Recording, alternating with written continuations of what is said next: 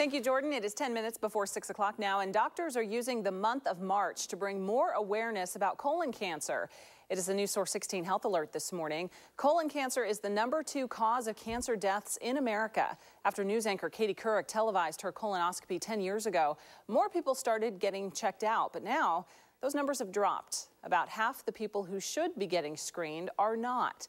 Doctors say this is the month to change that, especially since colon cancer is preventable. If someone has a colonoscopy and we actually remove polyps, we can prevent cancer from forming in at least 60 to up to 80% of patients. We may be able to find something before it turns into cancer and actually prevent cancer from forming altogether. A colonoscopy can be expensive for some people, but most insurance companies cover it.